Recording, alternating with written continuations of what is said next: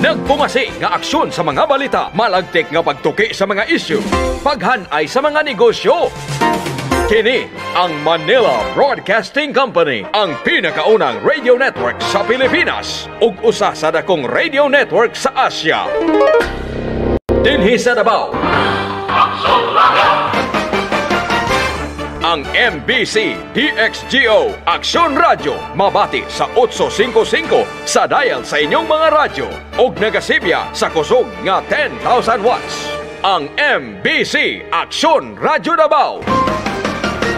Sakop sa KBP kung kapisanan ng mga broadcaster ng Pilipinas. Pag naay aksyon, naay radyo. Aksyon Radio, ang atong radyo.